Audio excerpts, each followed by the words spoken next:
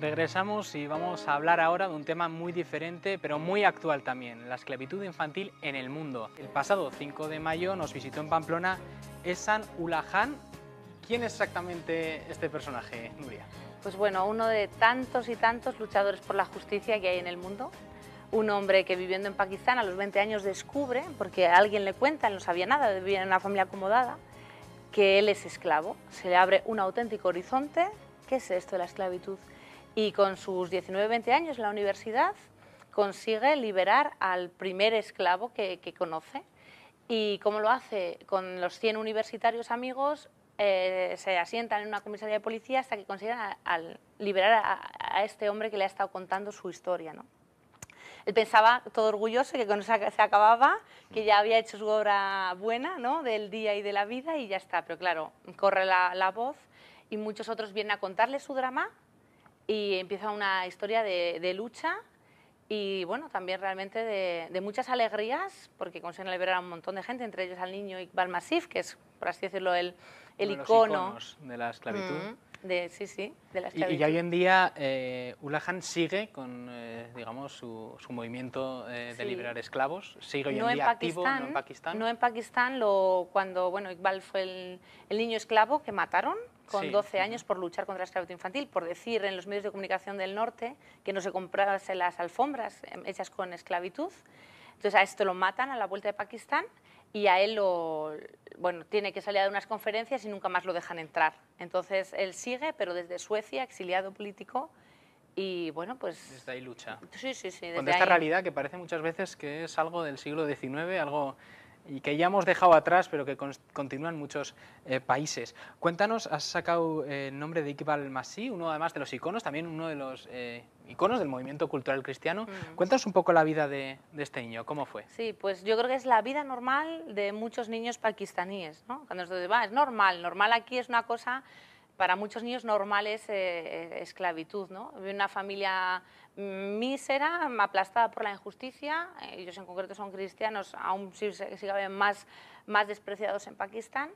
Y bueno, la madre para, para pagar la boda de otra hermana le empieza a poner a trabajar, al final lo venden, y el muchacho, bueno, no sabe mm, que eso está prohibido, de lo de la esclavitud infantil, que, no, que, no, debería ser así, ¿no? que hubiese esclavos. Está prohibido en Pakistán desde 1988, recientemente también, ¿no? Pero bueno.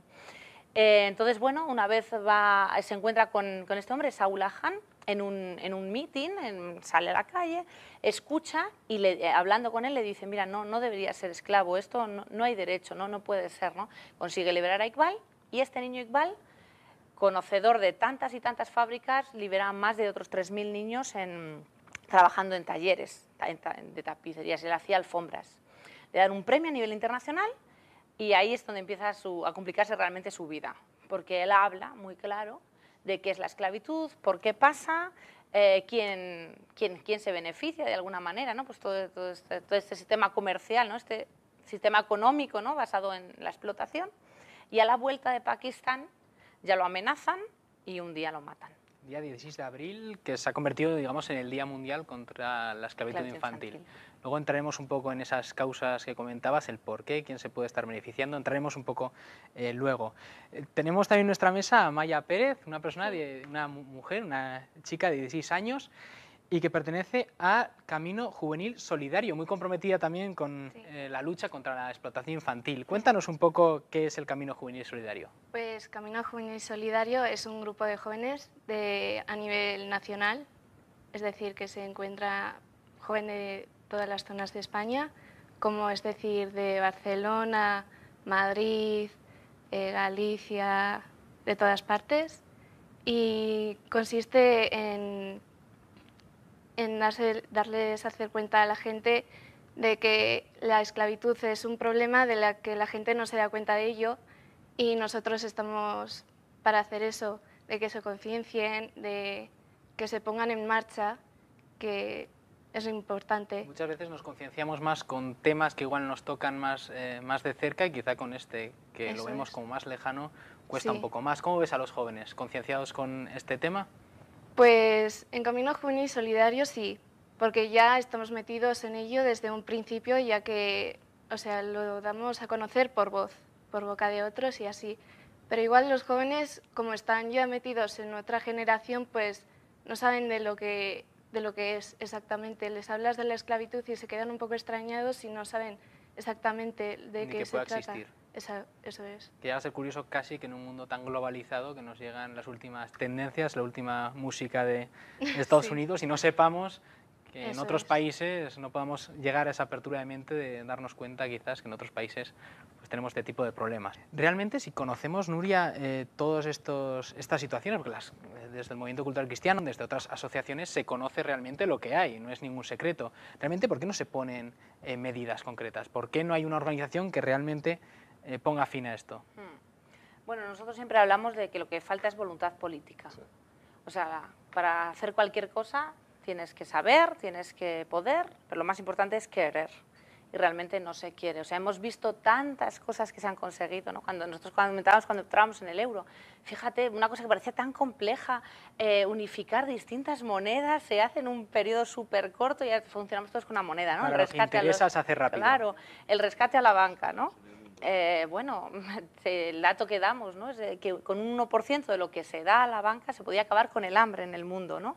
por eso dicho por gente de los propios organismos internacionales como es la FAO. O sea, no es que sea ninguno... invención. Exactamente, ¿no? O sea, la misma gente lo comenta. Entonces, lo primero es que falta voluntad política.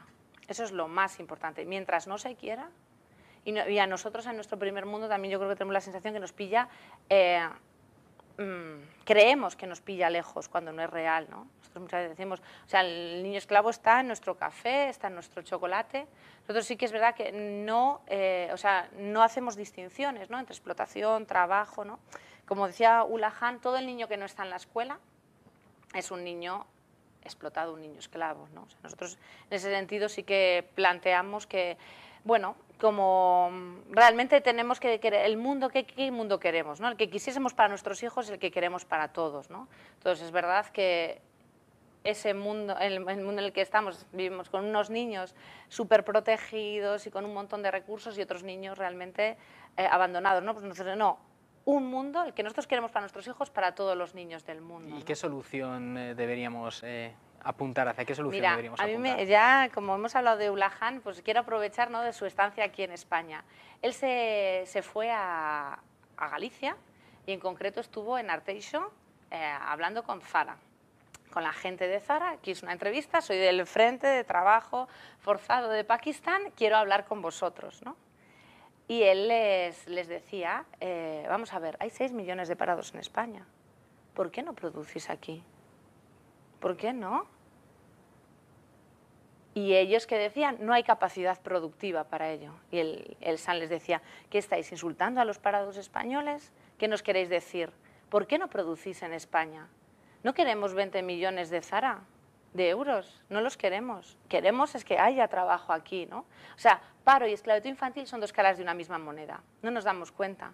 Pero el paro de aquí está muy relacionado con la esclavitud infantil de otros mundos, de, la esclavitud infantil de, otros países. ¿no? Entonces, ¿qué se puede hacer? Como españoles, a una empresa que presume de que mucha gente además es que realmente está entregada al señor da tantos puestos de trabajo. Mira, mm, su riqueza es fruto muchas veces, es fruto de la esclavitud, su riqueza es fruto de la esclavitud, y con 6 millones de parados en España y una empresa como esa, no, no teníamos, o sea, teníamos que ser mucho más duros. O sea, y no, no es porque sea España, me vale cualquier otro país. Donde pueda haber una. Exactamente, pero no, lo que no me vale es los bangladeses, los pakistanes. ¿no? todos, sitios de América, ¿no? Estamos pensando en la solución más que ponga la solución en esos países y quizá, como comenta, se podría poner desde nuestros propios países, desde el propio Occidente. En el fondo, ¿qué significa? Una legislación laboral internacional la misma.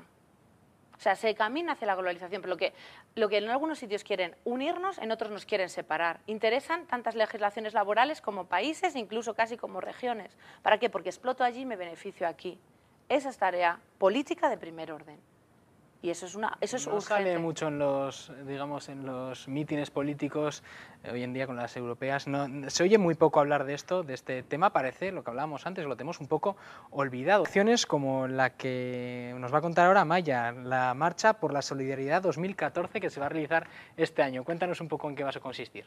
Pues la marcha 2014 eh, se va a hacer este verano que es como un pequeño campamento donde nos, juntamos todo Camino Juvenil Solidario, que consiste en hacer una pequeña marcha eh, donde salen distintos ramales, los cuales formamos todos, y lo que pretendemos es hacer pequeños actos en la calle, ya que la mayor parte del tiempo estamos fuera, como haciendo pequeños eh, conciertos o repartiendo papeles, muchas cosas de ellas. Y luego tenemos un pequeño lema que es el de 400 millones de niños esclavos más 1.600 millones de, personas adultas en paro, igual a 2.000 millones de personas, o sea, 2.000 millones de razones para ponerse en marcha. Para ponerse en marcha, para ponerse un poco las, las pilas. Sí.